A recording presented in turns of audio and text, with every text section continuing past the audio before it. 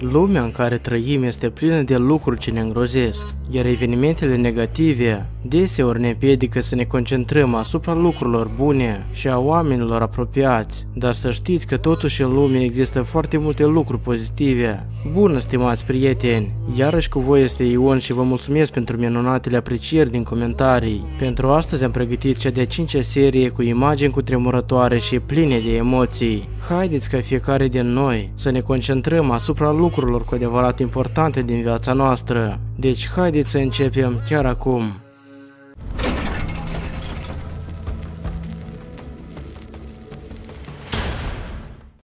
Fotograful a reușit să surprindă orangutanul care s-a ascuns de ploaie.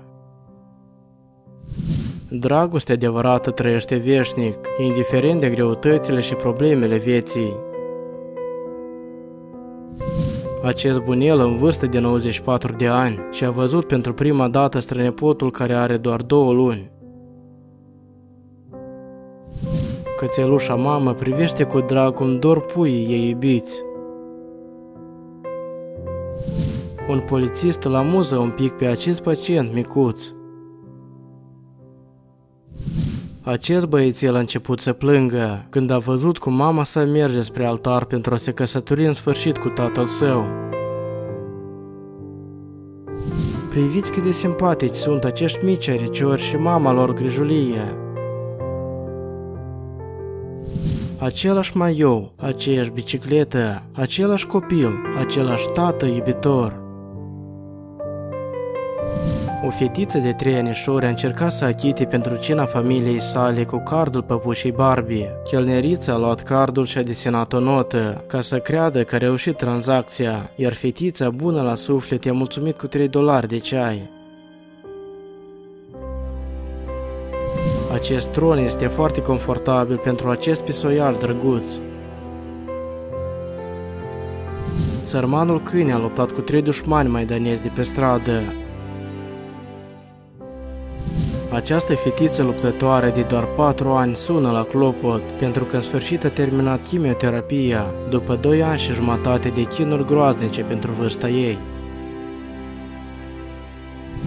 Bunica a murit când aveam 4 ani, dar înainte de asta i-a scris o scrisoare pe care trebuia să o citesc după ce voi absolvi școala. Am deschis plicul peste 14 ani, iar acolo am găsit acest cadou. Croitoreasa i-a făcut nepotului o salopetă exact ca abonelului. Pisicile sunt cei mai buni prieteni ai copiilor. Acest bărbat a salvat cu costârcii care înghețau de frig, i-a dus acasă pentru a îngriji până când nu se vor încălzi. Cel mai bun și devotat prieten a învins cancer după 8 săptămâni de intervenții chirurgicale, iar ședințele de chimioterapie a dus la pierderea urechii stângi. Acest câine vesel are 15 ani, iar după ce stăpân al tunde, toți cred că este un cățeluș micuț. Acesta a fost episodul de astăzi. Care din imagini v-a emoționat și v-a plăcut cel mai tare? Pe mine, de exemplu, aceasta, deoarece este un chin foarte groaznic la așa o vârstă de fragedă. Eu vă doresc tuturor să fiți sănătoși și fericiți alături de cei dragi. Vă mulțumesc mult pentru atenția acordată. V-am cuprins. Pa, pa!